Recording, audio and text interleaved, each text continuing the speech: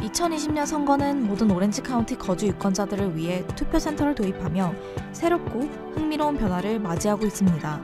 투표센터에서의 직접 투표는 여러분께서 하시던 것과 여러모로 비슷하나 절차를 간소화하고 효율적이게 할 몇몇 흥미로운 변화가 있을 것입니다. 안녕? 안녕? 나 투표해야 돼서 지금 가려고. 그렇구나. 좋은 하루 되길 바래. 안녕. 나중에 보자. 안녕하세요. 투표센터에 오신 것을 환영합니다. 접수를 해주시겠어요? 직접 투표할 시 새 전자체크인 기기가 투표 시간을 단축시키고 여러분의 정보를 확인하고 선거 요원에게 실시간 데이터를 제공하여 여러분에게 더 많은 도움을 드릴 수 있게 됩니다. 그리고 글씨가 작아서 읽기가 힘드네요. 도와주실 수 있나요?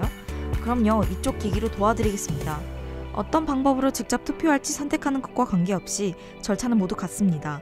저희의 목표는 모든 오렌지 카운티 유권자들에게 절차를 더욱 간편하고 안전하고 쉽게 만드는 것입니다. 자세한 사항은 오시보.com을 방문해 주십시오.